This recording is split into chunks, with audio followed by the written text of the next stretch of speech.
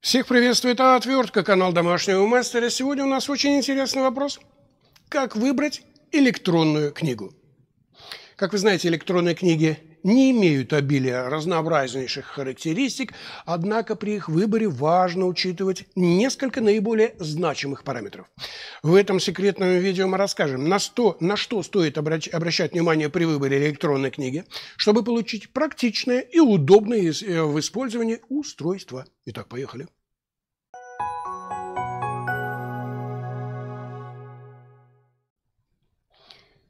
Итак, самое главное – это у нас диагональ и разрешение. Выбор диагонали должен основываться на характере использования электронной книги.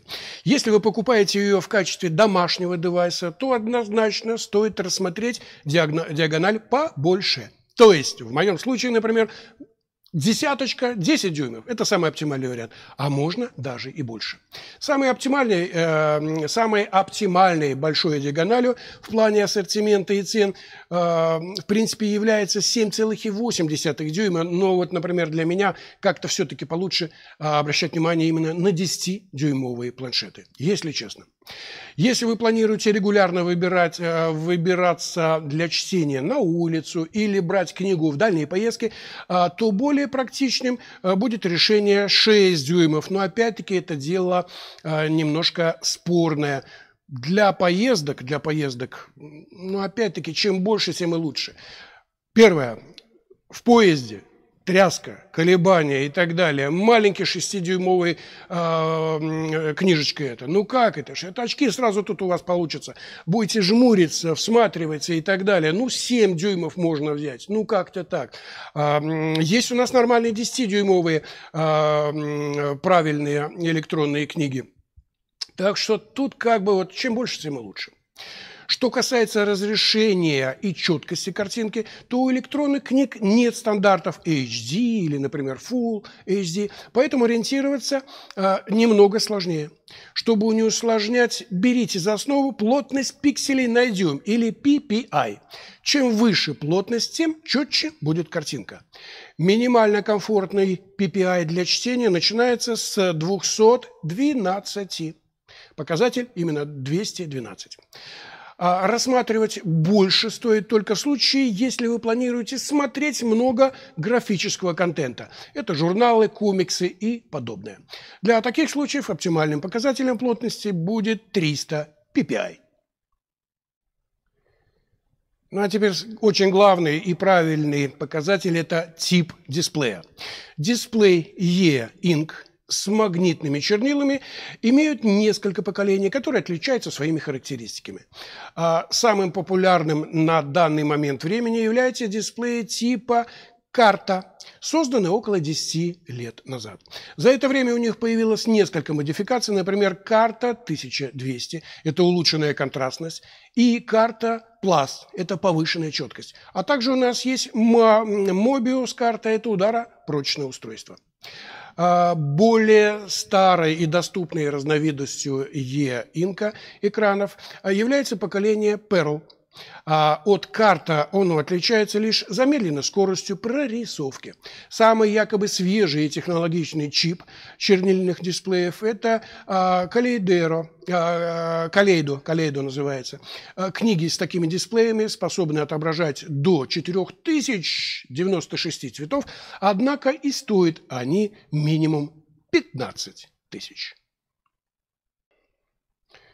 Следующий показатель – это сенсор – Наличие сенсора значительно упрощает процесс управления и расширяет набор функций электронной книги, что особо важно при наличии беспроводного подключения по Wi-Fi или Bluetooth. А сенсор позволяет выделить текст для его перевода или занесения заметки. Если бюджет позволяет, то рассмотреть наличие сенсора в книге однозначно стоит. Следующая важная вещь, если честно, это подключение по Wi-Fi. Если у вас, у вас нет опыта использования электронных книг, то функция подключения по Wi-Fi может показаться странной, ведь мультимедийными способностями это устройство не блещут. Но на самом деле Беспроводное подключение представляет быстрый или предоставляет именно быстрый доступ к загрузке книг, например, через Dropbox и так далее и тому подобное, или напрямую с интернет-магазина. Полезнейшая вещь, если честно. Следующее, на что надо обратить внимание, подсветка а отсутствие посветки а, может встречаться только в бюджетном сегменте. Однако не отменить необходимость этой функции я не могу. Если вы любите почитать перед сном, э, либо берите свою книгу за пределы дома, а, или берете, например, книгу за пределы дома, то подсветка является обязательной опцией, по-любому. Двигаемся далее по нашему видео. Это еще не все. Следующее, куда надо смотреть, это память. Для чтения книг в стандартных форматах FB2, EPUB или TXT 8 гигабайт встроенной памяти будет вполне достаточно. Если честно, да. Вместится более тысячи книг.